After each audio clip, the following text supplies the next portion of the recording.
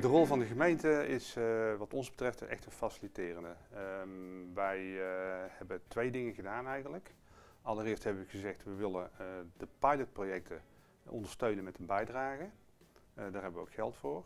En we hebben gezegd we gaan de, de, gemeentelijke zaken die spelen, gaan we zoveel mogelijk proberen recht te trekken. dus je, je kunt een aantal beren op de weg determineren voor een bepaald project. En dat is heel erg afhankelijk van de plek waar zo'n woning uh, ligt natuurlijk. En we hebben gezegd, die, gaan we, die plooi gaan we glad strijken. de gemeente uh, heeft ook al samen met de woningbouwvereniging eigenlijk vroegtijdig erkend dat in dit gebied zeg maar, van Nieuwbuin dat het nodig was om een verbetering te doen. Zowel aan de woningen als de openbare ruimte. En ja, de, de, gemeente vond dus belangrijk om, om samen met, met de vier die plannen op te stellen. Uh, we hebben allereerst uh, de bouwer, dat was Ballers Nedam, in contact gebracht met de welstandscommissie.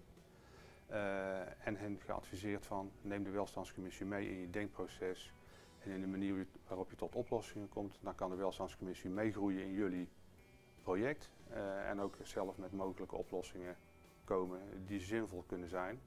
En dan is de kans heel groot dat je ook gewoon direct een goedkeuring daarvoor krijgt. Doordat de muren een stuk dikker werden in de nieuwe situatie, omdat er een uh, stevige isolatielaag voor moet komen, kwamen we dus in conflict met de, de eigendomsgrens, die op de, op de bestaande, precies op de, de, bestaande gevel ligt. We hebben dat opgelost door een recht van opstal te vestigen. Voor, laten we zeggen, een strook van 20 centimeter voor de huidige woning zodat die grond eigenlijk een opstal wordt van, van TUOS. En die dus gewoon op die manier gebruikt uh, mag worden. De goede samenwerking tussen de gemeente en Levier is ook vastgelegd in een samenwerkingsovereenkomst. Waarbij vrij gedetailleerde afspraken zijn gemaakt. Ook bijvoorbeeld ten aanzien van grondruil. Waarbij aan het einde van het project zeg maar, een grondruil om niet krijgt. Stukjes grond gaan van de gemeente naar Levier. En er zijn ook weer stukjes grond die van Levier, de woningbouwvereniging, naar de gemeente gaan. Dat is allemaal vastgelegd in, in die samenwerkingsovereenkomst. Wij zullen in de toekomst, uh, zullen wij, uh, als je over beleid praat, zullen wij wel bepaalde dingen in beleid op moeten nemen. want we hebben niet, niet overal beleid voor. Ehm, Zo'n pilotwoning is natuurlijk nieuw, ook voor ons. En dan kom je dingen tegen waar je zegt van nou, hier moeten we eigenlijk een algemeen beleid voor formuleren, want anders kunnen we, als het project succesvol wordt, en er dus in Tilburg veel meer de meter woningen komen, komen we dit probleem ook veel vaker tegen. En dan is het als je daar algemene eh, beleidsregels voor hebt. Uh, als je bijvoorbeeld praat over de welstandscommissie. Nou, de welstandscommissie is zelf al enigszins bezig om na te denken over, zoals we in het verleden uh, nagedacht hebben over, over algemene dakkapellen, uitbouwen om daar een soort algemeen beleid op te formuleren.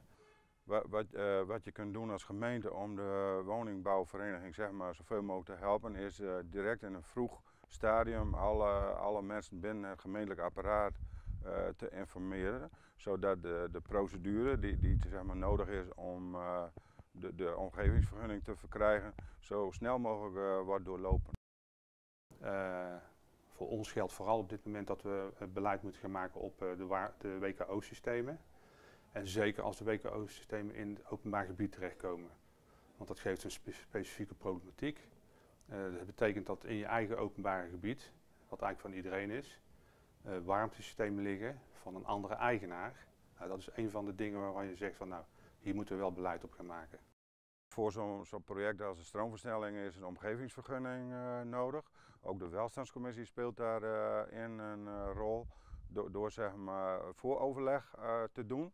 Dus de woningbouwvereniging pleegt dan vooroverleg met de vergunningverleners. is het, op het moment dat zeg maar, de daadwerkelijke aanvraag wordt gedaan, ook, kan er ook snel afgehandeld worden. Wij gaan nieuwe verhardingen financieren, nieuwe afwatering. Want voor, voor die woningen die zeg maar, voor de stroomversnellingen in aanmerking komen, gaan we ook duurzaam waterbeheer introduceren. Dat betekent dat er een gescheiden rioolstelsel komt. En de gemeente zorgt ervoor dat het schone hemelwater van die nieuwe daken wordt afgevoerd naar het nieuwe dijp, zeg maar, nieuwe watergang. Nou, als je zeg maar, tips voor andere gemeentes wil eh, geven, dan is het met name eh, vroegtijdig ook binnen het gemeentehuis dus intern eh, communiceren. Alle medewerkers die later eh, worden betrokken bij het project, om die ook vroegtijdig te informeren. Zoals het, als het moment dan ook daar is dat er daadwerkelijk een omgevingsvergunning aangevraagd wordt of met de openbare ruimte eh, wordt begonnen, dat ze dan eh, geïnformeerd zijn over de plannen. Nou, als ik een tip zou mogen geven bij een dergelijk project, vanuit de gemeente gekeken, dan zeg ik van zorg dat er een centraal persoon is die met de, de gemeentelijke aspecten van een project als een soort front office fungeert. Overal de vinger aan de pols houdt, de mensen, de bouwer, de, de corporatie, de gemeentelijke eh, specialisten aan elkaar verbindt. En als een spin in het web eh, dat eh, coördineert en zorgt dat al die, die, die plooien gladgestreken worden, dan kan dat heel snel gaan.